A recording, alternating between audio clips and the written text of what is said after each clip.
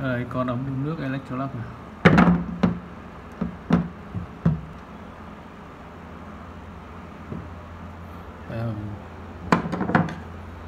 mở ra kiểm tra này.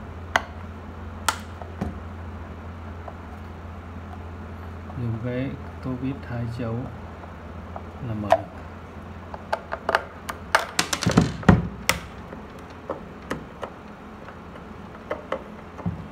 cái ốc rất là kỳ quái thì nó có đến ba cái chấu đồ rất là biết dùng con này là Electrolux 1,5 lít. Một ngàn một ngàn ba watt đây. Công suất rất lớn. Ngàn ba watt chia cho hai là phải bật lên phải dòng hơn 6 ampe kinh hồn.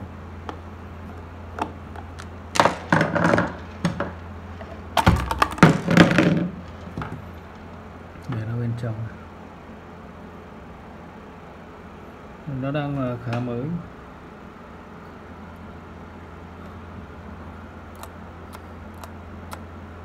Bỏ nước vào.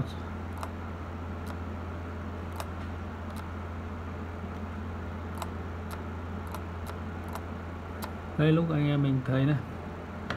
Tức là lúc mình bật cái nút này xuống ấy, thì hai cái hai cái miếng đồng này nó sẽ dí vào đây để để đưa điện vào cho cái sợi cho cái sợi đốt này, này để nó đun.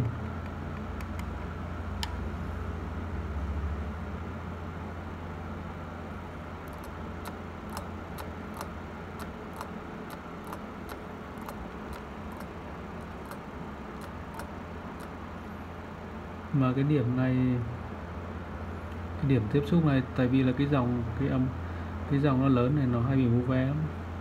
Dùng một thời gian là nó sẽ hỏng cái đoạn này, nó không có điện.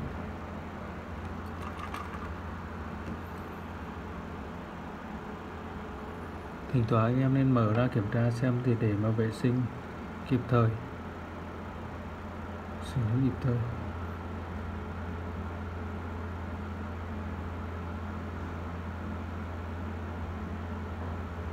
Con này đang khá mới.